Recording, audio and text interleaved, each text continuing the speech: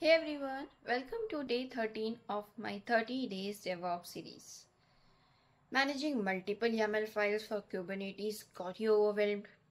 Let me introduce you to Helm charts, your new deployment buddy. Picture this. You have an app that needs deployment, service, ingress, config map, and maybe a secret, each with its own YAML file. Copy pasting those every time it may be error prone, hard to manage, and painful to scale. That's why Helm exists. Helm is a package manager for Kubernetes, just like apt or yum, but for your cluster. Here is how it helps. First, you define all resources inside a Helm charts. Second, use templating to make them reusable. Third, set environment specific values in a clean way.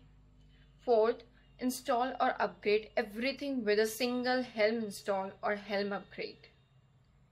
In Azure DevOps pipelines, uh, Helm simplifies deployment across dev, staging, and prod while keeping it uh, keeping the things dry.